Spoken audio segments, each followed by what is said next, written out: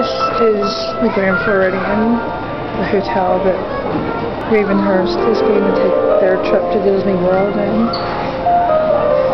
So, here's the flight level tour that I'm about to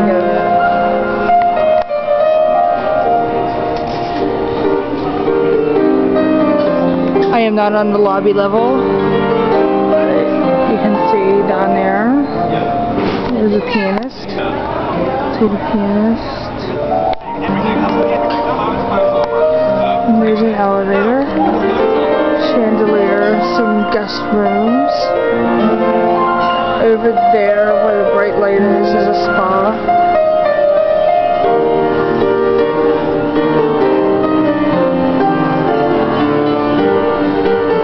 Uh, cast members. But and there's a chandelier.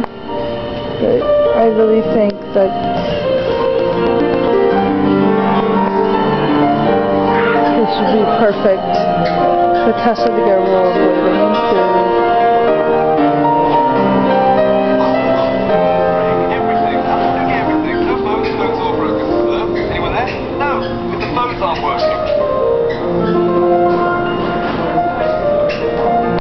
There's remodeling right there. One of the stores. And we're walking, and we're walking, we're walking, we're walking, we're walking.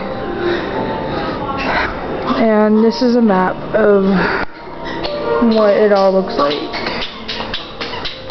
This is the big main building that we're in right now, and then there's other little buildings around it.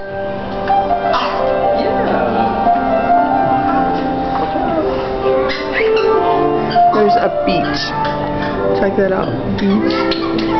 There's a Seven Seas Lagoon. And this is called the Grand Floridian Resort Spa Convention Center.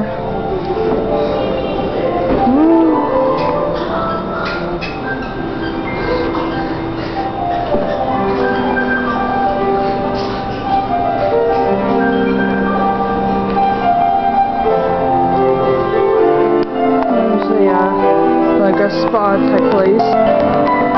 It's called Basin White. I don't know. Whatever. And out there's a monorail right now. See, monorail station. Yes, I can see everybody having a grand time in this hotel.